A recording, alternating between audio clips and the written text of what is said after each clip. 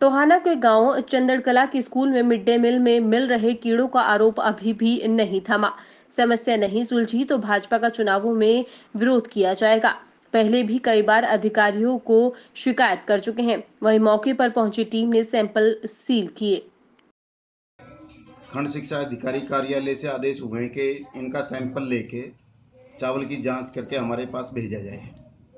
तो जैसे कि टैंकी से जो चावल निकाला गया है, वो चावल ज़्यादा बढ़िया क्वालिटी का तो नहीं है लेकिन जो भी है उसके अंदर ये सैंपल हमने ले लिया ये सैंपल हम सरकार को भेज देंगे। जैसा भी सरकार का निर्णय होगा वो बता दिया जाएगा। कीड़े इतनी मात्रा में तो कीड़ों की बात नहीं है कोई छोटा मोटा जैसे जो होता है वो क्या बोलते हैं उसको रिंग वॉर्म टाइप का जो आमतौर पर अनाज में हो जाता है उस टाइप का एक आध देखा गया है।